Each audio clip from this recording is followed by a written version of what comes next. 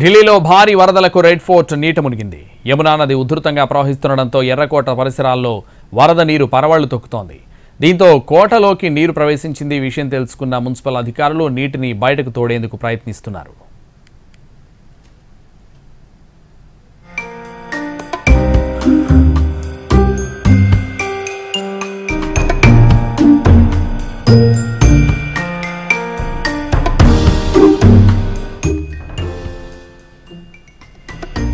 ఢిల్లీలో భారీ వరదలకు రెడ్ ఫోర్ట్ నీట మునిగింది. యమునా నది ఉధృతంగా ప్రవహిస్తుండటంతో ఎర్రకోట పరిసరాల్లో వరద నీరు పరవళ్ళు తొక్కుతోంది.